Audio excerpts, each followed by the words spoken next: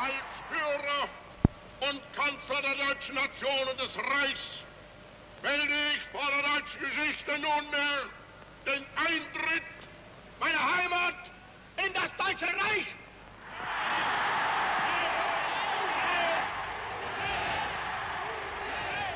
Das war vor 50 Jahren, am 15. März 38, hier auf dem Heldenplatz in Wien. Mindestens 200.000 Österreicher begrüßten jubelnd ihren früheren Landsmann Adolf Hitler, der sie heim ins Reich geholt hatte. Die dagegen waren, zeigten sich an jenem Tag nicht öffentlich. Die Propagandabilder zeigten nur die Jubler. Wie viele Österreicher 1938 wirklich für den Anschluss waren, das ist heute nicht mehr genau festzustellen. Die Befürworter, soweit sie noch leben, stehen oftmals nicht mehr zu ihrer damaligen Überzeugung. Und nach dem Kriege haben sich die meisten Österreicher lieber als Hitlers erstes Opfer gesehen, denn als seine Mittäter. Erst jetzt und nicht zuletzt natürlich durch die Waldheim-Affäre stellen sie sich Fragen wie diese. War das ein friedlicher Anschluss oder eine Vergewaltigung? Warum war kein Widerstand möglich, politisch oder sogar militärisch? Wäre Widerstand politisch oder militärisch völlig aussichtslos gewesen? Warum hat das Ausland damals tatenlos zugesehen? Wie ist es zu bewerten, dass über 99 Prozent der Österreicher für die Einverleibung stimmten? Sind die Märzereignisse, wie hier meistens schamhaft umschrieben wird, ein österreichisches Trauma?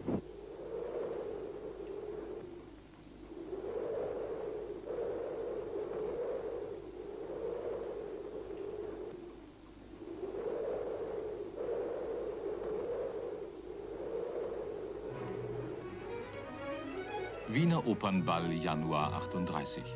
Bundespräsident Miklas und Bundeskanzler Schuschnigg trinken auf die Zukunft Österreichs. Die oberen paar Tausend beim Tanz, einem Tanz auf dem Vulkan. Österreich ist arm geworden. Sozialer Zündstoff hat sich angehäuft. Politische Explosionen drohen. 600.000 Arbeitslose. Und anders als im Deutschen Reich geht ihre Zahl nicht zurück. Österreich, einst mächtiges Zentrum der Habsburger Monarchie, versinkt in wirtschaftlichem und politischem Chaos.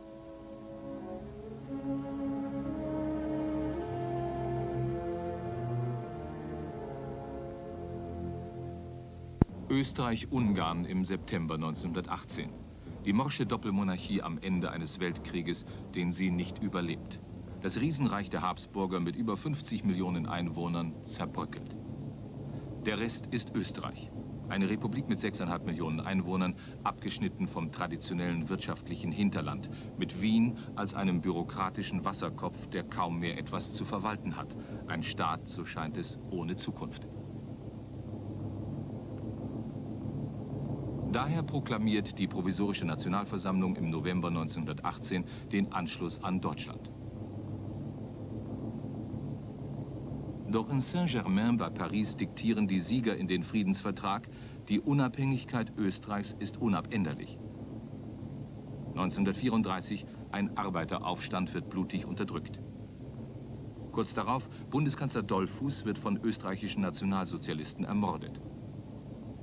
Sein Nachfolger Kurt Schuschnigg, links im Bild, mit Hitlers Außenminister Neurath, muss zwischen seinen Nachbarn lavieren. Garant der österreichischen Unabhängigkeit ist der italienische Diktator Mussolini, der ein übermächtiges Deutschland fürchtet. Doch im Sommer 37 kommen sich Mussolini und Hitler näher, auch in der Österreich-Frage. Schuschnigg steht allein, draußen ohne Verbündete, drinnen gegen immer mehr Feinde seines autoritären Ständestaats. Der Austrofaschismus war das, was das Wort sagt. Es war eine Diktatur, eine Einparteiendiktatur, die sogenannte Vaterländische Front, hat also die Kommunisten und die Sozialisten, die, auch die Nazis eingesperrt und eingelocht, kaum dass sie sich zu Wort gemeldet hat. Und ich bin also in einer Atmosphäre der Illegalität aufgewachsen. Mein Vater wurde mehrfach verhaftet als Organisator der Roten Hilfe, indem er wieder Geld aufgetrieben hat für Inhaftierte. Mein Vater wurde dann zu einem halben Jahr verurteilt. Viele seiner Mitstreiter und illegalen Leuten auch natürlich. Und ich kann mich noch sehr gut erinnern, zum Beispiel an einen Karfreitag, wo die allerchristlichste Regierung meinen Vater abgeholt hat und wir Kinder sind da mit der Mutter zu Hause blärrend gesessen. So waren unsere heiligen Ostern, die Auferstehung und alles. Faschistisch oder nicht. Reaktionär ist dieser Staat auf jeden Fall. auch klerikal und antidemokratisch. Ein Ständestaat, in dem die mächtigen Gruppen bestimmen, nicht die Bürger an der Wahlurne. Gegner werden eingesperrt. Vor allem junge Leute fühlen sich von provinzieller Enge abgestoßen. So auch der damalige Oberschüler Otto Schulmeister. Das Eigentliche war aber, dass uns, äh, also mir jedenfalls und auch vielen meiner Schulkollegen, auch solchen, die Zionisten oder Marxisten waren, die ganze Zeit und die Umstände nicht gepasst haben. Die waren uns zutiefst zuwider. Äh, der Ständestaat, es waren uns aber auch die der ähm, Österreicher, der sogenannte Austromarxismus, nichts aus einer kurzen Periode, das uns angesprochen hat. Hingegen sahen wir das klein gewordene Österreich, Bürger eines Kleinstaates, den man so als eine Art Schuhabstreifer betrachtet hat, wie da drüben unter dem Österreicher Adolf Hitler sich eine Macht aufbaut, äh, in der, äh, vor der Europa im Osten wie im Westen äh, großen Respekt empfand. Das Deutsche Reich. Militärisch aufgerüstet, aber dadurch hoch verschuldet, bis an die Grenze des Staatsbankrotts. Hitler braucht die Expansion. Den Widerstand der Wehrmachtsführung bricht er Anfang 38 in der sogenannten Blomberg-Fritsch-Krise. Der Eid dieser Soldaten gilt nun dem unumschränkten obersten Befehlshaber der Wehrmacht. Adolf Hitler, den obersten Befehlshaber der Wehrmacht. als tapferer Soldat bereit sein will, jederzeit für diesen Eid mein Leben einzusetzen. Von den Berchtesgadener Alpen geht der Blick hinüber nach Österreich. Auf dem Obersalzberg hat sich Hitler sein weitläufiges Refugium eingerichtet, wohl nicht zufällig in der Nähe seiner österreichischen Heimat, wo er lange Zeit von Amts wegen unerwünscht war und wo die NSDAP verboten ist. Erst seit sechs Jahren ist Hitler deutscher Staatsbürger.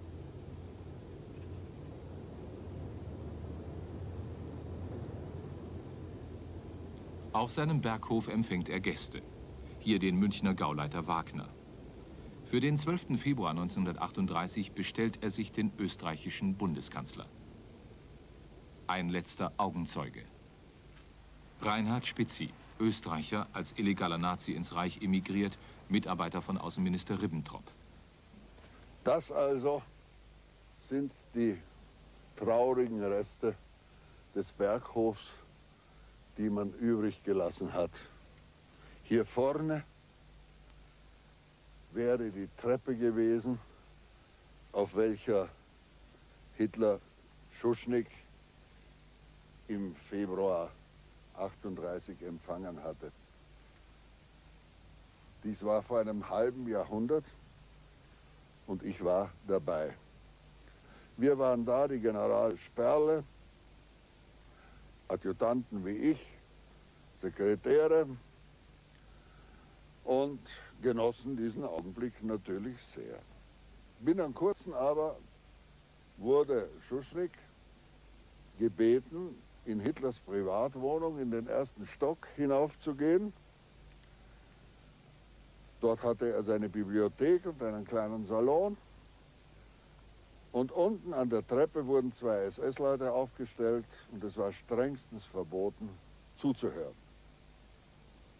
Was uns sehr leid tat, denn wir hätten gerne gewusst, was da oben zwischen diesen zwei Österreichern gesprochen wurde. Denn es war ja merkwürdigerweise dieses Treffen eigentlich eine fast rein österreichische Angelegenheit. Nach ungefähr zwei Stunden kam dann Schuschnigg sehr nachdenklich vielleicht auch etwas ramponiert, herunter. Hitler dürfte ihm, wie man modern sagt, Saures gegeben haben. Und Schuschnigg war völlig überrascht. Den Papen, der diese Entrevue angeregt hatte, hatte sichtlich Schuschnigg gesagt, Herr Schuschnigg, diese Unterhaltung muss irgendwann einmal stattfinden. Jetzt, nach der Blomberg-Fritsch-Krise, Jetzt ist Hitler angeschlagen, jetzt ist er weich, fahren Sie jetzt. Und Schuschnigg ließ sich überreden. Zu seinem Staunen fand er aber einen völlig frischen, unentwegten Hitler vor, der mit ihm sehr hart redete. Was Hitler seinem Gast gesagt hat, nennt Schuschnigg später eine Erpressung. Hitler verlangt ultimativ Regierungsumbildung in Wien, sein Vertrauensmann Seyß-Inquart als Innenminister, Wiederzulassung der NSDAP, Amnestie für Nazis. Doch gleichzeitig lässt er den Einmarsch vorbereiten unter dem Kennwort Unternehmen Otto, gemünzt auf Otto von Habsburg. Wien, Bundeskanzleramt. Die Frage ist, soll man, kann man der Erpressung widerstehen? Was wollen die Österreicher? Unabhängig bleiben oder den alten Traum vom Großdeutschen Reich verwirklicht sehen? Trotz Hitler oder wegen Hitler? Schuschnigg ahnt, dass er verloren hat. Er nimmt, wie von Hitler verlangt, seinen Gegenspieler Arthur Seyß-Inquart in die Regierung. Seyß-Inquart, damals kein ganz wilder Nazi, aber ein großdeutscher Nationalist. Schuschnigg fährt doppelgleisig. Einerseits erfüllt er das Diktat von Berchtesgaden, andererseits versucht er, Österreichs Unabhängigkeit zu retten. Vor der Bundesversammlung des autoritären Ständestaats ein leidenschaftlicher Appell, zwölf Tage nach dem Treffen auf dem Obersalzberg. Die österreichische Regierung sieht ihre Aufgabe darin, den Frieden nach außen mit allen ihr zustehenden Möglichkeiten zu sichern und den Frieden im Innern nach bestem Wissen und Gewissen zu verbreitern und zu wahren. In der Erfüllung dieser Aufgabe erblickt die österreichische Regierung zugleich ihr volles und uneingeschränktes, von der ganzen Kraft der Überzeugung getragenen Bekenntnis zu ihrer deutschen Pflicht.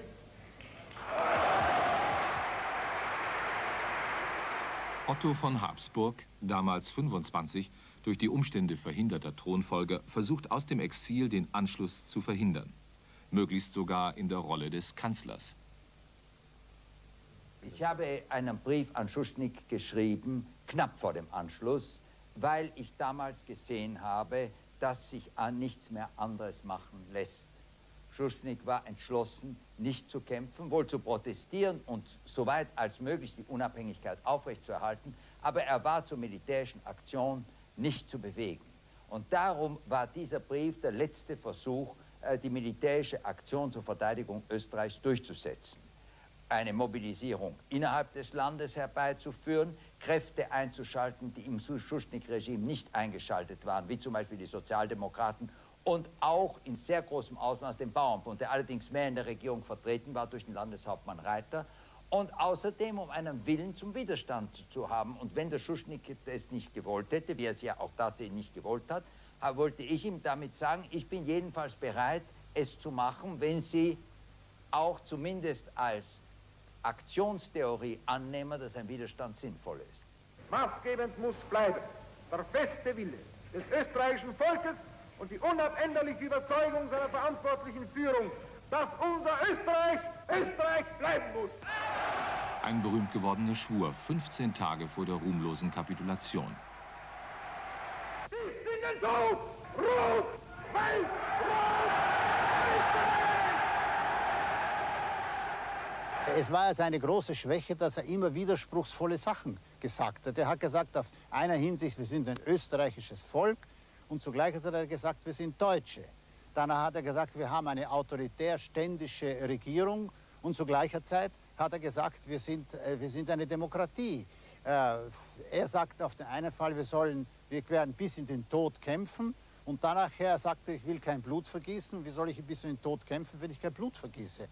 Und so, dieser Widerspruch bei ihm, der ein tragischer Widerspruch war in der Seele eines Menschen zwischen den Fronten und zwischen den Zeiten, das ist etwas, was ich also immer sehr verurteilt habe, auch wenn ich persönlich die größte Hochachtung zu ihm hatte.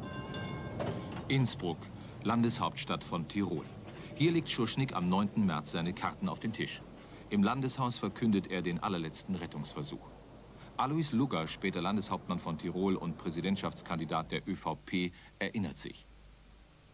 Schuschnigg war die Überzeugung, dass man nun das Volk von Österreich antworten lassen muss.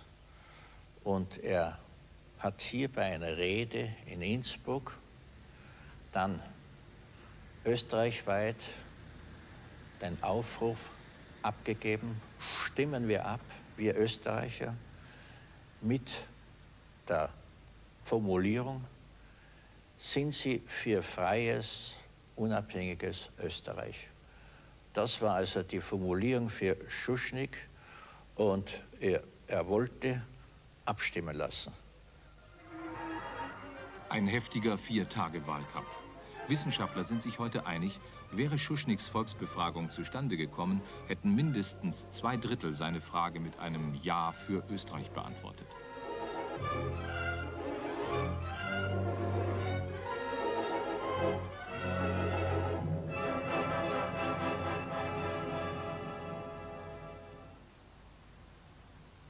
Das Café Zentral, vor 50 Jahren Treffpunkt von Wiener Intellektuellen. Der Dichter Erich Fried, Sohn einer jüdischen Familie, damals ein politisch interessierter Oberschüler. Kein Mensch oder nur eine kleine Minderheit hatte das alte Regime wirklich geliebt. Vielleicht ein, zwei Burschen in unserer Klasse. Die meisten waren entweder Linke oder waren illegale Hitlerjungen. Natürlich wusste jeder von jedem, was er ist. Wir haben uns auch oft gestritten, aber es hat nie jemand einen anderen denunziert. Und auch die, die Nazis haben frohlockt und gesagt, das ist das Ende von Österreich. Aber in den letzten Tagen, als der Schuschnigg die Volksabstimmung haben wollte, haben sie lange Gesichter gemacht, weil sie gewusst haben, sie würden das verlieren. Und unser Nazi-Führer, der mit mir denselben Schulweg hatte, hatte am ersten Tag nachher zu mir gesagt, das war mein ärgster Albtraum, dass ich gedacht habe nach der Volksabstimmung, da werde ich dein erfreutes Gesicht sehen, dass wir verloren haben. Und er sagt, na dann gibst du es wenigstens zu, dass er verloren hätte. Sagte, ja, das hat er zugegeben als ehrlicher Mann. Im Straßenbild die Fahnen von Schuschnigs Vaterländischer Front. Der Kanzler sucht ein Zweckbündnis mit der bislang verfemten Linken. Aber nun auch die Nationalsozialisten. Schon mit deutschem Gruß die Polizisten des Innenministers Seyß-Inquart.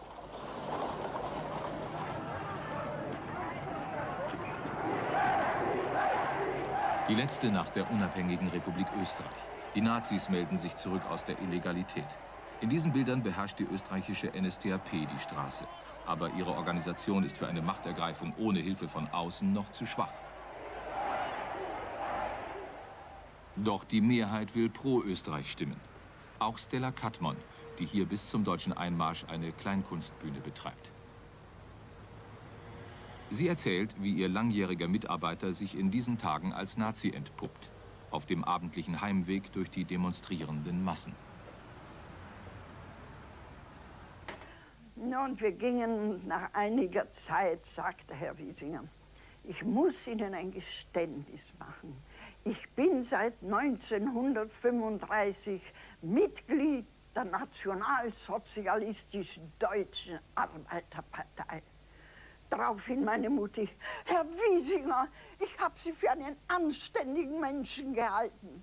Ich habe sie natürlich gleich gestoßen und sage, ja, Schauen Sie, Herr Wissinger, meine Mutti ist eine Österreicherin, meine Großmutter, meine Urgroßmutter. Wir sind in Wien, Wien lieben wir. Und wenn der Hitler kommt, werden wir kein Österreich mehr haben. Aber was freut Ihnen? Eine Frau, ganz im Gegenteil. Der Führer ist doch selber ein Österreicher. Die Beefcakes, die werden sich anschauen. Mein Gott, na, na, da brauchen Sie keine Angst haben. Wirklich nicht. Naja, also, zwei Tage später wurde Österreich zu Deutschland einverleibt und wurde ein Gau.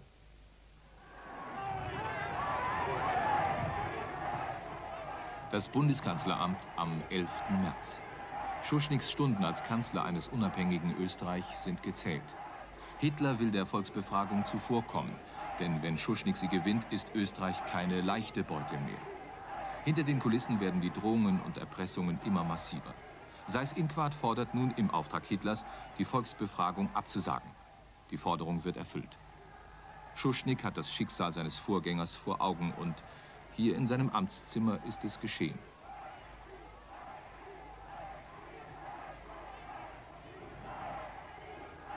Draußen fordert die Straße den Anschluss. Freilich, die ihn ablehnen, zeigen es nicht mehr öffentlich.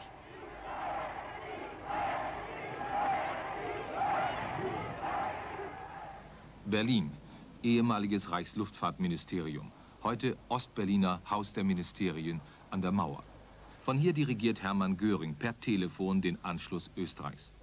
Ausschnitte aus Gesprächen mit Seis Inquart am 11. März. Klare Anweisungen aus Berlin, die der Vertrauensmann in Wien weiterzugeben hat. Guten Tag, Herr Doktor.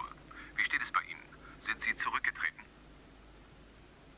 Kanzler Schuschnigg hat sich zum Bundespräsidenten begeben, um seine und die Demission des gesamten Kabinetts einzureichen. Ist damit auch der Auftrag zur Kabinettsbildung an Sie sichergestellt? Ich erkläre kategorisch, dass dies außer der Demission Schuschniggs eine unumstößliche Forderung bedeutet. Ich habe dem Bundespräsidenten den Vorschlag gemacht, mir die Kanzlerschaft zu geben. Das dauert bei ihm im Allgemeinen drei bis vier Stunden. Was die Partei betrifft, so haben wir noch nicht die Möglichkeit, die Partei wiederherzustellen, haben aber die Formationen SA und SS angewiesen, dass sie den Ordnungsdienst übernehmen. Die Sache ist jetzt im Rollen. Also bitte, es muss jetzt sofort dem Bundespräsidenten mitgeteilt werden, dass er unverzüglich Ihnen die Macht zu übergeben hat als Bundeskanzler. Wenn er nicht unverzüglich die Forderungen annimmt, dann erfolgt heute Nacht der Einmarsch der bereits an der Grenze aufmarschierten und anrollenden Truppen auf der ganzen Linie. Und die Existenz Österreichs ist vorbei. Also bis 19.30 Uhr Meldung. Alles Gute. Heil Hitler.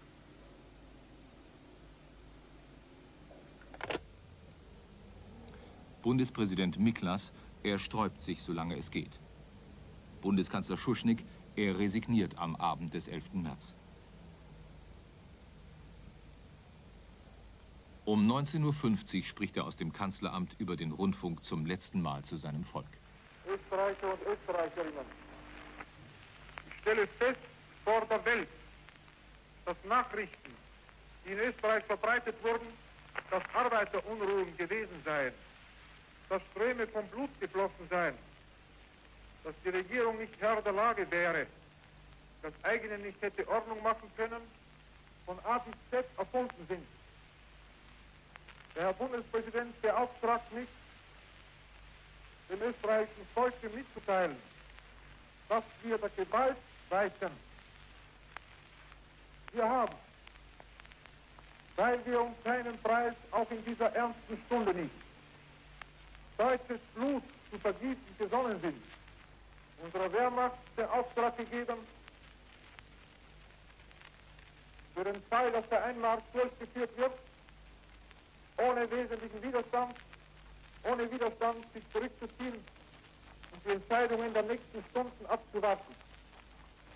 So verabschiede ich mich in dieser Stunde von dem österreichischen Volke mit einem deutschen Wort und einem Herzenswunsch. Gott schütze Österreich. Gott schütze Österreich. Danach die österreichische Bundeshymne die letzten Takte langsam wie ein Trauermarsch gespielt. Dafür hat der Mann, der in der, im Rundfunk diese Weisung gegeben hat, einige Monate im Konzentrationslager gesessen dann. Und dann kamen schon Nazi-Lieder. Sturm, Sturm, Sturm, läutet die Glocke vom Turm und so weiter. Deutschland, Judas läutet das blutig dem beginnen Juda erscheint das Reich zu gewinnen, Deutschland der Wache, Deutschland der Wache unter dem Donner der Rache. Und, und das war ein kleiner Weltuntergang.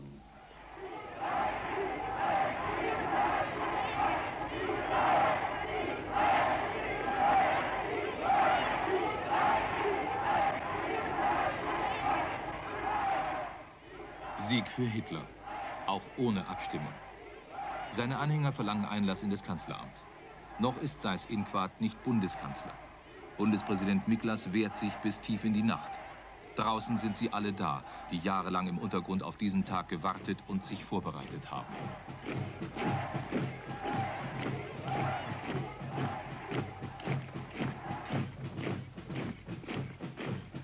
So ähm, kamen wir von allen Bezirken in die innere Stadt, wurden schon da und dort jubelnd begrüßt, die ersten Hakenkreuzfahnen zeigten sich.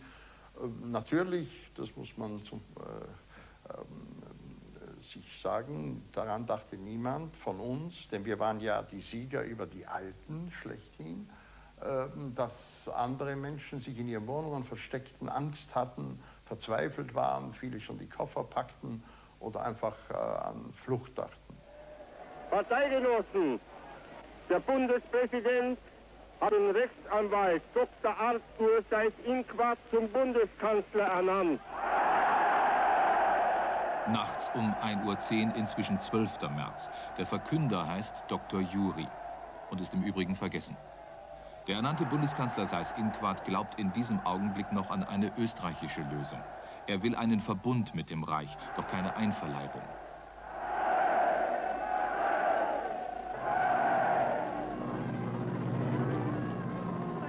Aber am Morgen danach deutsche Luftwaffe über Wien. Unübersehbar, unüberhörbar hat Österreich aufgehört, ein selbstständiger Staat zu sein. Wenn es auch formal noch besteht.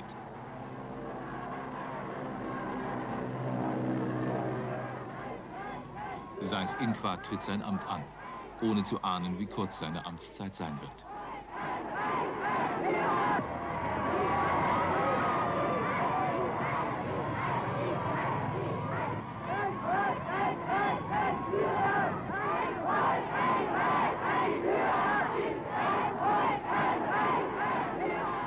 Nazis haben in Österreich schon am 11. März die Macht ergriffen, noch bevor die Deutschen einmarschiert sind. Das ist die Realität. Der Übergang vom schwarzen Faschismus zum braunen Faschismus innerhalb des Justizapparats, der Polizei und so weiter ist eine klare Sache gewesen. Als Kind kann ich mich noch erinnern an diese Situation der vergeblichen Hoffnung. Und den nächsten Tag oder übernächsten Tag, als wir in die Schule gegangen sind, waren Parolen geschrieben, gemünzt auf Dr. Schuschnigg, dem schwarzen Diktator Österreichs, der Kurt ist fort, die Missgeburt, jetzt geht's uns gut. 12. März ab 5.30 Uhr Einmarsch. Überall an der deutsch-österreichischen Grenze die gleichen Bilder. Kampflos rückt die deutsche Wehrmacht ins Nachbarland ein. Es ist nicht bekannt, dass irgendwo an diesem Tag ein Schuss gefallen wäre.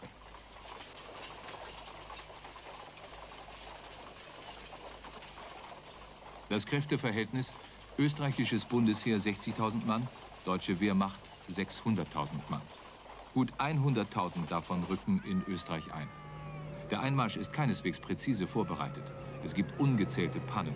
30 Prozent des Gerätes fallen aus. Die Bilder zeigen das nicht.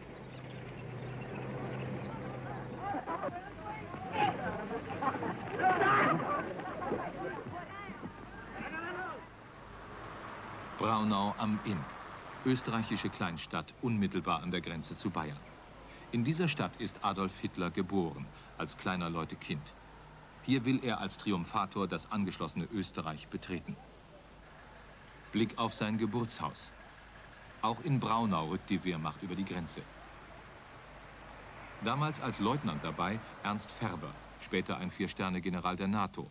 Sein Bataillon wartet auf den Einmarsch. Zum Bataillon zurückgekehrt kam ein Reserveoffizier, der offenbar mit der Partei und mit Österreich gewisse Beziehungen gehabt hatte, auf die glückliche Idee, sich in Zivil im Einvernehmen mit den beiderseitigen Zöllnern nach Braunau zu begeben, um nachzusehen, was da eigentlich gespielt wurde. Und er kam nach einiger Zeit zurück und berichtete, die Bevölkerung warte sehnsüchtig auf unseren Einmarsch. Es sei sogar, wenn ich mich richtig erinnere, ein Fackelzug zu unseren Ehren geplant. Und irgendwelcher Widerstand oder irgendwelche Schwierigkeiten seien nicht zu erwarten. Wir waren voll mobil gemacht, aber wir hatten keinerlei Befehle, etwa anzugreifen oder Widerstand zu brechen. Das war als Möglichkeit natürlich, stand uns als Möglichkeit vor Augen, aber äh, war nicht konkretisiert durch irgendwelche Weisungen, die wir bekommen hatten. Wenige Stunden nach seinen Truppen fährt Hitler hier am 12. März über den Inn. Zu diesem Zeitpunkt kann er, trotz aller für ihn erfreulichen Berichte, noch nicht genau abschätzen, wie groß die Zustimmung der Österreicher ist. In Braunau hält er sich nur kurz auf, steigt nicht einmal aus dem Wagen. In der Kolonne Reinhard Spitzi, Mitarbeiter des Reichsaußenministers. Ich war mit dem General Bodenschatz, damals noch Oberst Bodenschatz, im dritten Wagen kamen zur Grenze, dort empfing uns schon der neue Bürgermeister. Er unrasiert und kerkerbleich. Man hatte ihn gerade aus dem Kerker herausgeholt, wo er saß.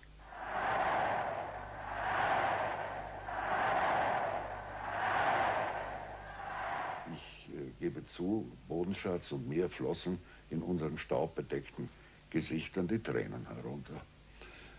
Ich war so glücklich wie nie mehr in meinem Leben eigentlich in dem Moment. Wir kamen dann nach Österreich herein, der Jubel war ungeheuer. Die Leute standen an den Wegen und grüßten. Das Bundesheer lungerte eigentlich zwischen Apfelbäumen herum und hatte sich da gemütlich gemacht. Und so wurde der Zug nach Linz zu immer begeisterter, immer mehr Leute waren herbeigeströmt.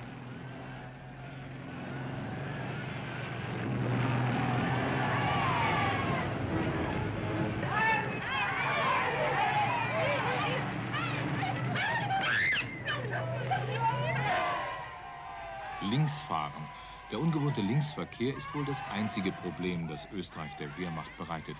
Doch das Land wird auch in dieser Hinsicht rasch auf rechts umgestellt.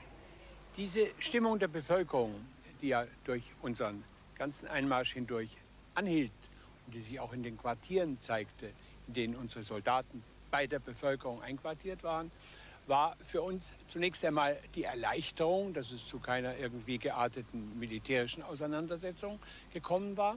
Der Jubel der Bevölkerung und dann in den nächsten Tagen die bekannt gegebenen politischen Ereignisse, nämlich die Eingliederung Österreichs in das Deutsche Reich, wurden von uns allen genauso empfunden wie von der Bevölkerung, nämlich als ein ganz legaler Akt einer Wiedervereinigung historisch zusammengehöriger Staaten. Wiedervereinigung. Das ist das damals gebräuchliche Wort für den Vorgang, der sich vollzieht.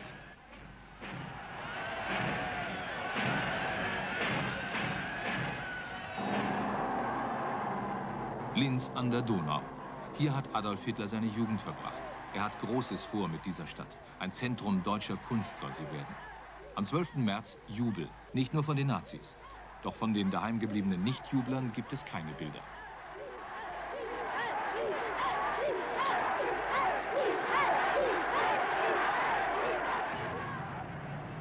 Ehe der Führer einzieht, kommt ein Vorbote des Grauens. Heinrich Himmler, Reichsführer SS. Ein früherer Linzer SA-Mann erinnert sich an diesen Tag.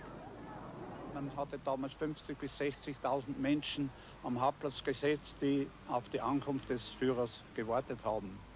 Und äh, um 4 Uhr, 5 Uhr, 6 Uhr hieß es, er wird bald kommen. Doch wurde er durch die Fahrt, durch die verschiedenen Orte so lange aufgehalten, dass es bis zur Dunkelheit kam dass Hitler in Linz einfuhr. Währenddessen wurden immer Sp äh, Sprechchöre laut und die immer schon auf die Ankunft Hitlers hin mit Jubel warteten. Um circa 7 Uhr, halb 8 Uhr abends, ungefähr mit Dunkelheit schon, traf Hitler am Hauptplatz an. Es war ein Jubel, Tränen in den Augen, Freude, leuchtend, jung und alt, alles hat gegrüßt, alles hat die Hand zum Gruß erhoben und man kann das einfach nicht so schildern, wenn man das nicht selbst erlebt hat. Diese Begeisterung, es war zweifach eine Begeisterung. Einerseits die Befreiung von Not und Elend, das man sich erhoffte, und von diesem hässlichen gegenseitigen Kampf und andererseits die Begrüßung Adolf Hitlers in Linz. An die Vorsehung, mich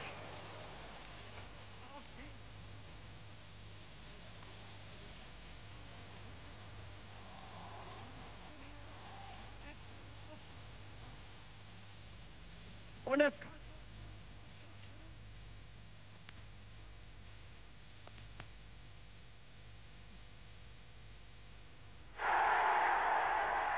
Also vor Linz war die Sache mit dem Anschluss noch gar nicht klar. Wir hatten alle nicht gedacht, dass so eine hundertprozentige Lösung gleich kam. Äh, zu dieser Auffassung kam wohl Hitler erst durch Telefonate mit Göring, der ihn äh, mitteilte, dass in Wien praktisch die Sache so weit schon wäre. Und dann auch die ungeheure Begeisterung am Abend, die hat ihn mitgenommen und sagte sich, mein Gott, warum soll ich nicht alles haben? Und da, in dieser Nacht, entschloss er sich, den Anschluss vollkommen zu vollziehen.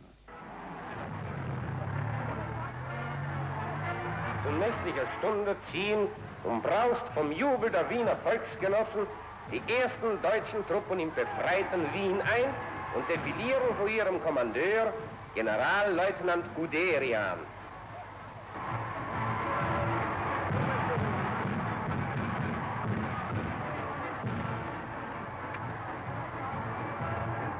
Nach der Defilierung verbrüdern sich deutsche und österreichische Soldaten unter dem Jubel der Bevölkerung.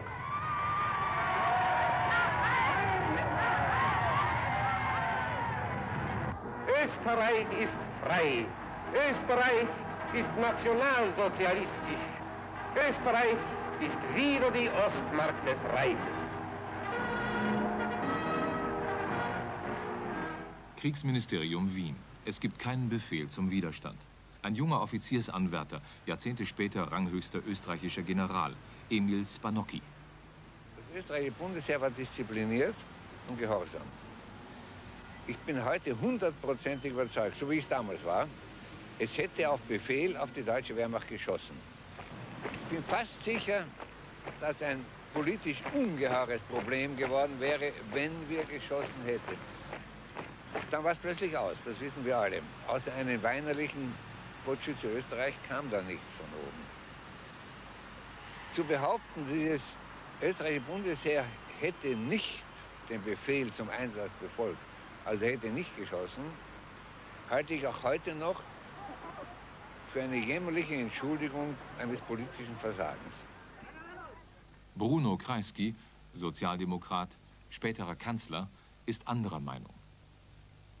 Vom Bundesheer habe ich nichts gehalten damals. Und es war sicherlich nicht in der Lage, weil es ja durchsetzt war, bis hinauf zu den höchsten Offizieren mit Nazis. Von dort her hätte keine Verteidigung geleistet werden können. Aber Sie können sicher sein, dass in Wien, in Wiener Neustadt, in St. Pölten, in der Obersteiermark, überall in den großen Industriegebieten ungeheure Widerstandsgebiete geworden wären. Und wer dort hineingekommen wäre in diese Teile Österreichs, hätte es sehr bald mit dem Widerstand zu tun gehabt. Und ob eine reguläre Armee wie die deutsche das riskiert hätte. Die Frage ist, ob die militärische Disziplin gehalten hätte. Ich glaube ja. Schauen Sie, das habe ich auch gesagt und zum Entsetzen mancher Leute. Nun, die, die gesagt hätten, ich rebelliere, ich bin also für Hitler, wenn ich die ersten fünf an die Wand stelle, der Rest pariert. Und in einem solchen Augenblick gibt es nichts anderes, wenn das Land von einer tödlichen Gefahr bedroht ist. Die Frage ist, wenn wir ein, zwei, drei Tage Widerstand geleistet hätten, ob sich nicht in der europäischen Landschaft etwas geändert hätte. Die Nachbarn, die Tschechoslowakei, ob nicht Frankreich, ob nicht England dann zu einer anderen Meinung gekommen wäre und nicht zu der, die sie nachher hatten, sondern die Österreicher waren ja eh glücklich, dass sie, dass sie also, dass Hitler einmarschiert ist, nicht? Ich könnte mir vorstellen, gerade auch aus meinen sehr starken Kontakten mit dem deutschen Widerstand, speziell in der Gruppe um General Beck, dass wir vielleicht da eine Chance gehabt hätten, noch einmal den deutschen Widerstand zu motivieren. Denn wissen Sie, eine Armee putscht niemals gegen eine erfolgreiche Regierung. Wo, wenn aber diese Regierung auf Schwierigkeiten stößt, dann ist es etwas anderes.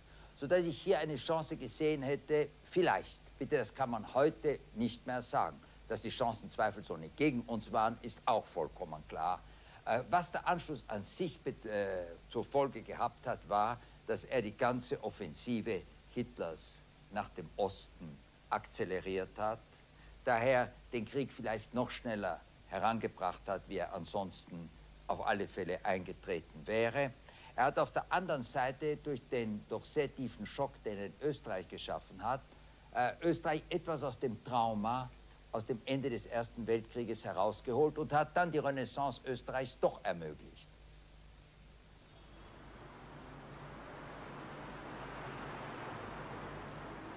Wien hat Anfang 1938 fast 1,9 Millionen Einwohner. Es wird gesagt, zu Hitlers Empfang sei ganz Wien auf den Beinen gewesen.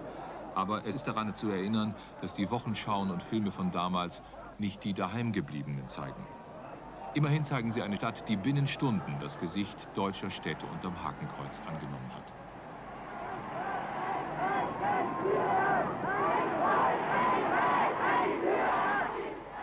14. März nachmittags. Hitler an der Stadtgrenze Wiens. Er hat gewartet, bis Wehrmacht und SS hier alles unter Kontrolle haben.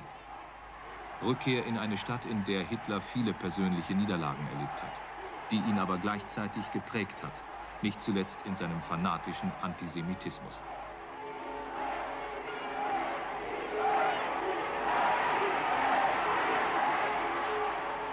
Bilder eines Triumphes.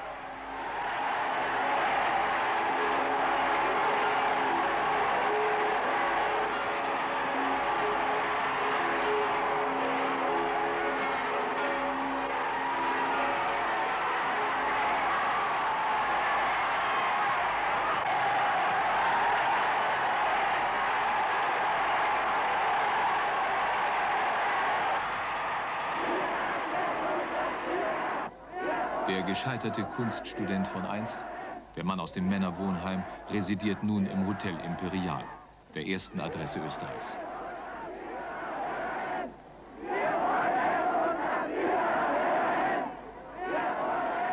Die Massen wollen ihren Führer hören. Mikrofone sind vorbereitet. Aber Hitler spart sich seine Worte für den ganz großen Auftritt am nächsten Tag.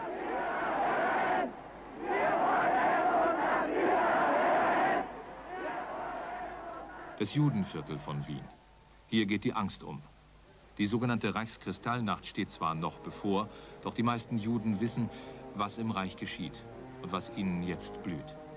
Rund 180.000 leben in der Stadt, die größte jüdische Gemeinde im deutschen Sprachraum. Fast jeder zehnte Wiener ist Jude. Ein Jahr später hat sich diese Zahl halbiert.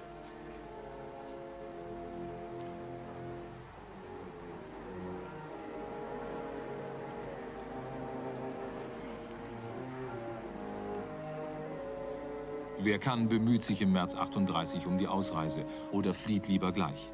An den offenen Ausbruch des latenten Antisemitismus erinnert sich eine Frau, die viele Juden zu Freunden hatte.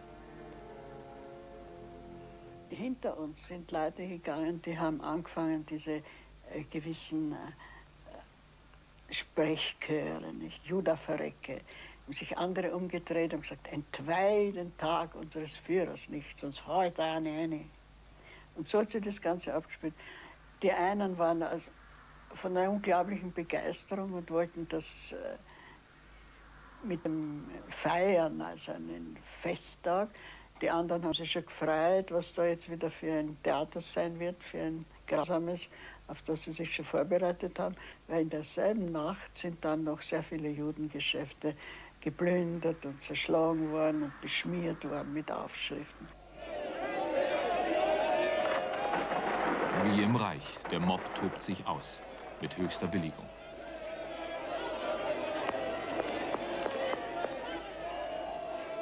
Mit dem Zug nach Warschau oder Prag oder Budapest, in Sicherheit, aber nur für kurze Zeit, wie wir heute wissen.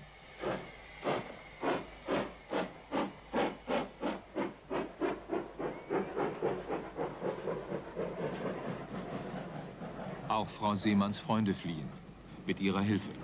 Sie selbst wird dabei verwechselt. Sie war nur Halbjüdin und hat sich da nicht äh, so bedroht gefühlt und ist zurückgeblieben, um noch Sachen zu ordnen. Und sie ist dann in meine Wohnung gegangen, gar nicht mehr zu sich nach Haus. Und ich wurde dann von den SA-Leuten, die dort herumgeschwirrt sind und sich diese Judenwohnung angeschaut haben, wurde dann einfach als Jüdin mitgenommen. Und da kamen noch andere Männer, alte Männer, und da wurden wir die Stiegen runter und unten waren Kruppenkreuze gemalt. Die waren mit schwarzer Farbe unten auf dem Pflaster.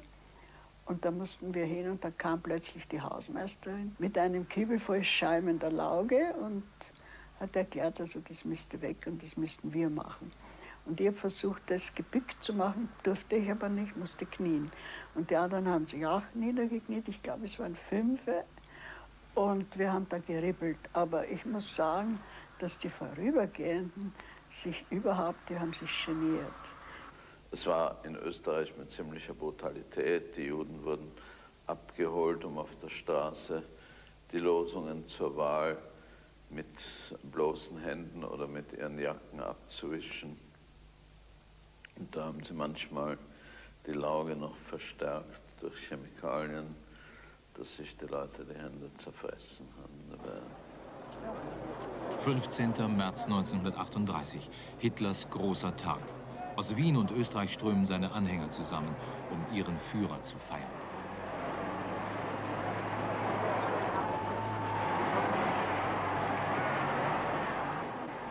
Alle Welt wird diese Bilder sehen und sagen, sie wollen ihn ja. Warum sollen wir sie daran hindern? Das sind bisher unveröffentlichte Aufnahmen. Sie zeigen, dass die Kundgebung nicht nur spontan ist. Zehntausende aus allen Teilen Österreichs rücken an, in organisierten Kolonnen.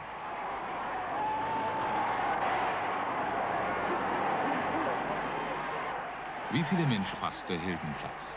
50.000 bis 300.000 werden geschätzt, je nach politischem Standort. Der Wahrheit am nächsten kommt wohl die Zahl 200.000. Der Heldenplatz mit der alten und der neuen Hofburg, den Denkmälern der Nationalhelden Erzherzog Karl und Prinz Eugen. Pompöse Kulisse aus der K&K-Monarchie. Bühne für eine dramatische Inszenierung.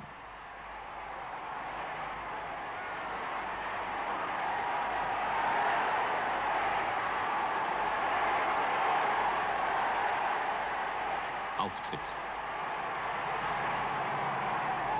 Beim genauen Hinsehen glaubt man zu erkennen, dass Hitler selbst von der Inszenierung und ihrem Anlass überwältigt ist.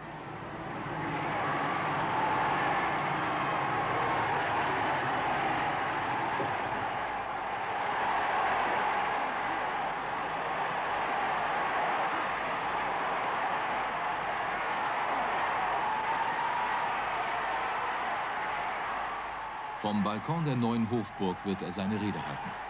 Ankündigen darf ihn Arthur Seyß-Inquart, Kanzler für dreieinhalb Tage.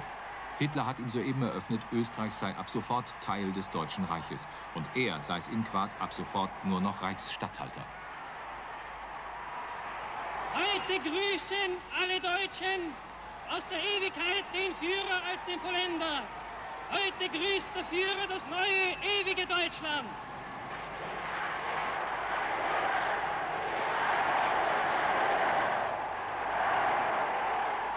Das sind weitere bislang unveröffentlichte Aufnahmen. Deutsche Männer und Frauen, in wenigen Tagen hat sich innerhalb der deutschen Volksgemeinschaft eine Umwälzung vollzogen, die wir heute wohl in ihrem Umfang sehen, deren Bedeutung aber erst spätere Geschlechter ganz ermessen werden. Ich proklamiere nunmehr für dieses Land seine neue Mission. Sie entspricht dem Gebot, das einst die deutschen Siedler aus allen Gauen des Altreichs hierher gerufen hat. Die älteste Ostmark des deutschen Volkes soll von jetzt ab das jüngste Bollwerk der deutschen Nation und damit des deutschen Reiches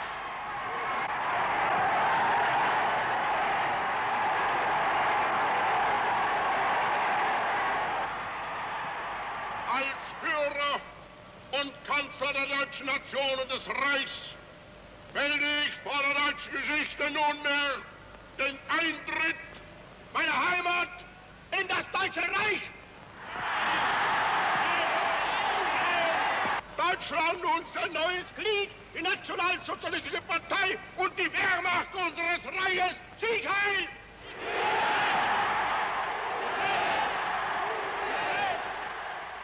wie überhaupt diese Tage ein Rausch in der Erinnerung für mich, äh, rauschhafte Augenblicke. Äh, ein Psychologe würde vielleicht sagen, das Gefühl einer, ja, so wie unter dem Einfluss von Drogen, einer Existenzerweiterung. Äh, wir standen auf einem Platz, dort sind die Denkmäler des Prinzen Eugen und Radetzkis und die ganze Kulisse erinnert an diese halbtausendjährige Vergangenheit Österreichs, die ja ständig ein Teil der gemeinsamen deutschen Geschichte war, wobei Deutsch hier nicht eng nationalstaatlich verstanden werden darf. Und in diesem Augenblick nun, in diesem Menschenmeer, hingerissen von dem Augenblick, das, was äh, und die älteren Menschen uns nicht glauben wollten, wir würden es schaffen, in eine andere Existenzform, politische, menschliche, soziale, überzutreten. Das war da. Heute, rückblickend, ist es einem im Kopf so, wie wenn Wind in Asche fährt.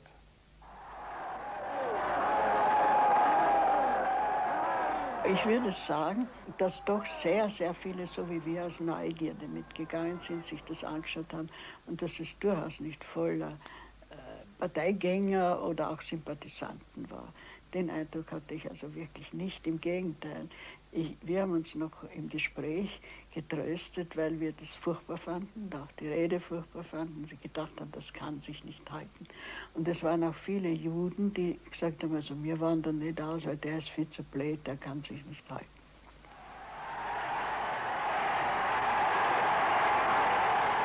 Ich war am Heldenplatz. Ich wurde hinkommandiert, zusammen mit meinen Kameraden, nicht in Formation, sondern zur Füllung. Äh, ich bin mitten unter dieser hysterischen Menge gestanden, wo alles durcheinander geschrien hat, aber meine Kameraden zum Beispiel, auch die, die vielleicht Nazi waren, ohne dass ich es wusste, haben nicht geschrien. Und äh, das Erstaunliche in der Erinnerung war meine innere Einstellung eigentlich als Flucht zur deutschen Wehrmacht. Nach dieser Hysterie paradierten die deutschen Bataillone vorbei. Und ich gebe zu, dass ich sie damals als den einzigen mir bewusst werdenden Teil dieses Aktes gesehen habe, wo ich Recht und Ordnung wenigstens erhofft habe. Das österreichische Bundesheer wird bis auf politisch unzuverlässige Offiziere umgehend in die deutsche Wehrmacht integriert. So kommen auch Österreicher in ein paar Jahren bis El Alamein und Stalingrad.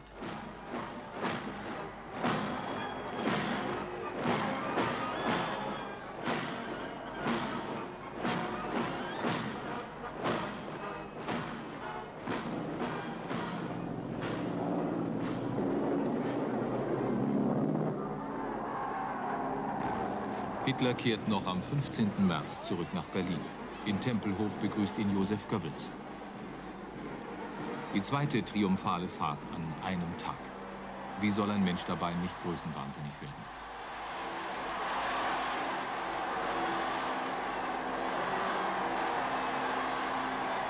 Mit Brutalität und Geschick hat Hitler die Verträge von Versailles und Saint-Germain zu Makulatur gemacht. Das Rheinland besetzt, aufgerüstet, Österreich heim ins Reich geholt. Niemand ist ihm in den Arm gefallen. Also wird er weitermachen. Wenige auf den Straßen Berlins können sich an diesem 15. März 1938 vorstellen, wie bald es bergab gehen wird.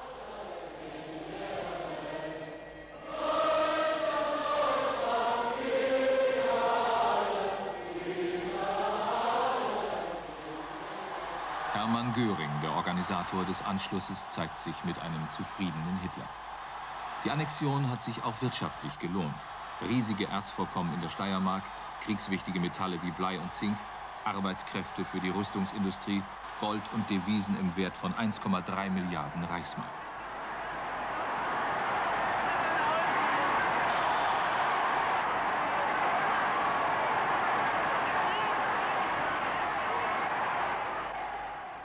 Zurück nach Wien. Schneller als es sich die meisten Österreicher haben träumen lassen, sind sie gleichgeschaltet. Der Anschluss ist total. Berlin gibt den Takt an, Wien spielt die zweite oder dritte Geige.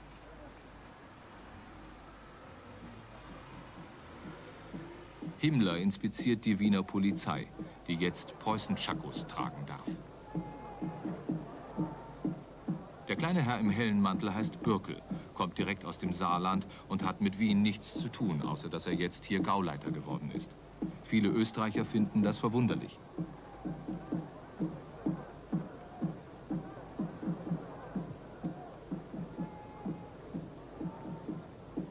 Gab viele, ähm, äh, auch Nationalsozialisten in Österreich, die sich das unter dem Anschluss nicht vorgestellt haben, was er war. Äh, also etwa eine quasi äh, Annexion Österreichs durch den preußischen Nationalstaat.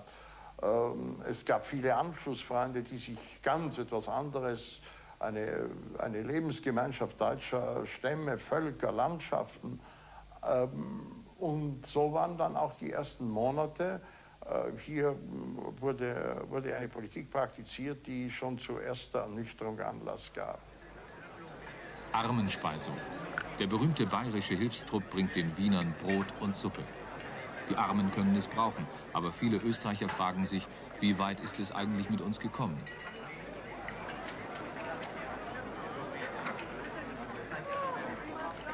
Für die äh, breitere Masse äh, kam natürlich auch äh, zum Vorschein, dass es Reglementierungen gab, dass man das Gefühl hatte, man werde hier von Preußen oder Saarländern geschuriegelt. Die Österreicher würden nicht so ähm, aufgenommen, wie sie erhofft hatten, sondern eher als eine, ein Rest von Softies, die also mit Musik und Wein, Weib und Gesang vielleicht die Szene des Dritten Reiches beleben könnten, aber in der politischen und historischen Substanz nicht so gefragt waren. Was ja auch stimmte, denn Hitler hatte zu dem alten Österreich ein, gelinde gesagt, sehr schwieriges Verhältnis. Schon wieder ist Wahlkampf. Volksabstimmung. Diesmal ist es Hitler, der am 10. April das ganze deutsche Volk in allen Gauen fragen lässt, ob es mit der Wiedervereinigung zufrieden ist. Die Parole heißt ein Volk, ein Reich, ein Führer. Und so sieht Wahlkampfwerbung im Jahre 1938 aus. Noch ohne Fernsehen.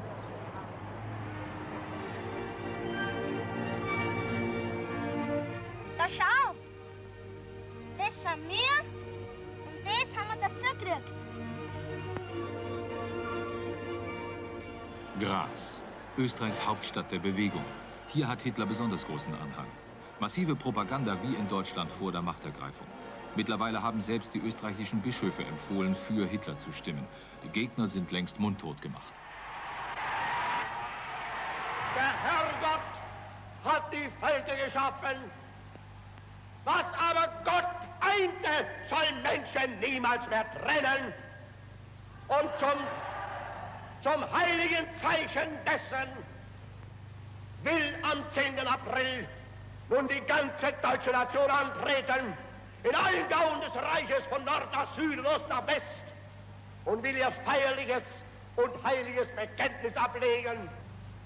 Zum ersten Mal in der Geschichte unseres Volkes wird ein Reich gebaut aufgrund des Willens des Volkes selbst.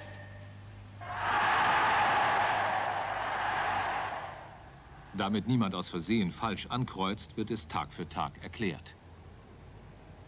Ein Kinowerbefilm von damals. Bitte, ich gehe heute zum ersten Mal wählen. Sagen Sie, wie geht denn das? Oh, das ist doch ganz einfach. Haben Sie ein Dokument bei sich? Erkennungskarte oder Heimatschein, Taufschein, Reisepass oder sonst eine amtliche Legitimation? Meinen Taufschein habe ich mitgenommen und meinen Heimatschein. Eines von beiden genügt schon. Und dass Sie keinen Fehler machen, werde ich Ihnen drinnen im Stimmlokal alles erklären. Der Herr, der dort hinter dem Tisch sitzt, das ist der Wahlleiter. Zu dem gehen Sie hin und sagen Ihren Namen und Ihre Adresse und zeigen ihm Ihr Dokument. Einer der Beisitzer schaut jetzt nach, ob der Wähler in der Stimmliste enthalten ist. Jetzt bekommt der Wähler einen Stimmzettel und einen Briefumschlag, mit dem er dort in die Stimmzelle geht. In der Stimmzelle macht man da mit dem Bleistift in den großen Kreis, bei dem ein Ja steht, ein Kreuz. Auf dem Stimmzettel darf nichts anderes vermerkt werden als nur das Kreuz in dem Ja-Kreis, sonst ist der Stimmzettel ungültig. Den Briefumschlag mit dem Stimmzettel übergibt man dann dem Wahlleiter, der ihn ungeöffnet in die Wahlurne legt. Dankeschön. Ist das alles? Na, eigentlich nicht. Denn nachher, wenn Sie abgestimmt haben, müssen Sie nach Hause gehen und dafür sorgen, dass auch alle Ihre Bekannten rechtzeitig zur Abstimmung kommen. 10. April 1938. Wahltag im ganzen Deutschen Reich, wie hier in Berlin. Ein Diktator beim Wählen.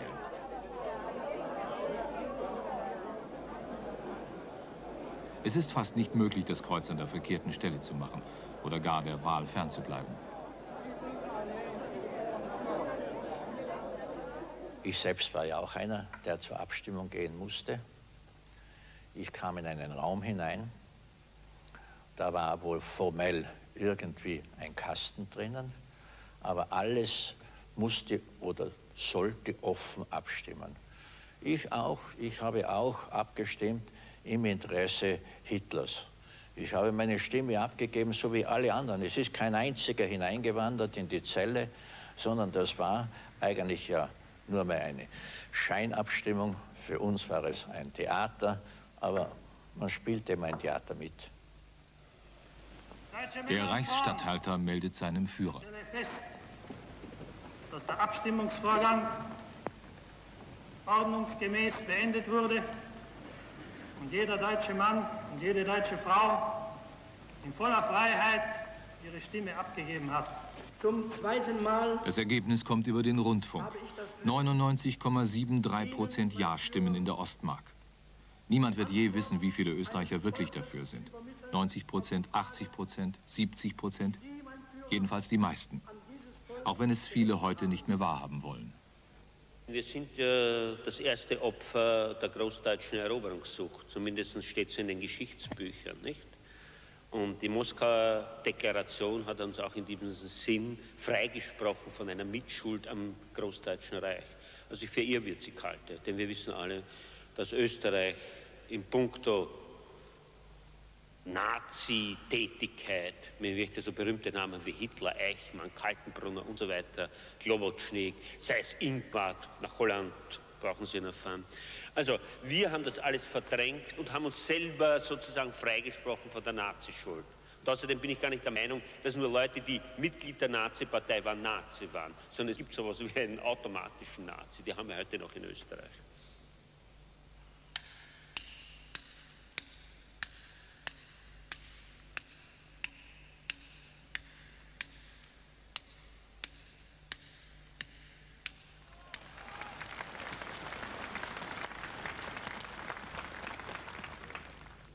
Wir dürfen nie wieder bereit sein, der Demokratie preiszugeben, auch nicht das kleinste Stückchen der Demokratie dürfen wir preisgeben.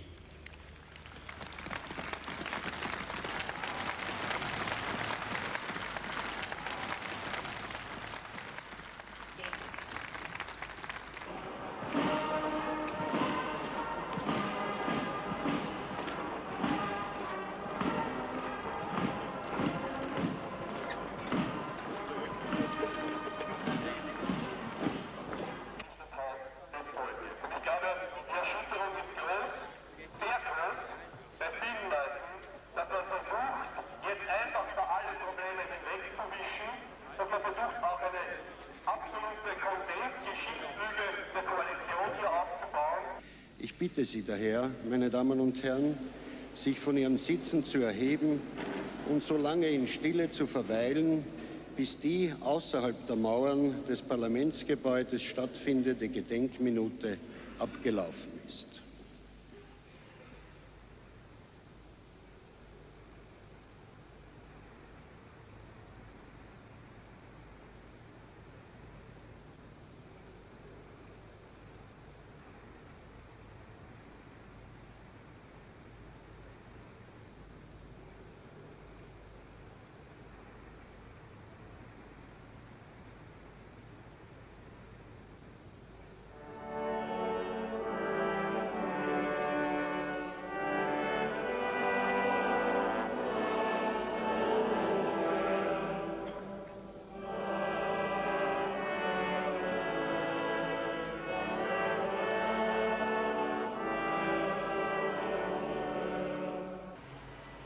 Das waren Bilder, liebe Zuschauer, vom Jahrestag des Anschlusses.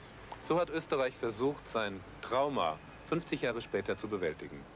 Wie aber sehen normale Österreicher dieses Trauma? Wir haben dazu beim Linzer IMAS-Institut eine Umfrage in Auftrag gegeben, mit teils recht überraschenden Ergebnissen, Dieter Zimmer. Die erste Frage, waren die Österreicher 1938, freilich ohne schon alle Folgen zu ahnen, mehrheitlich für oder gegen den Anschluss?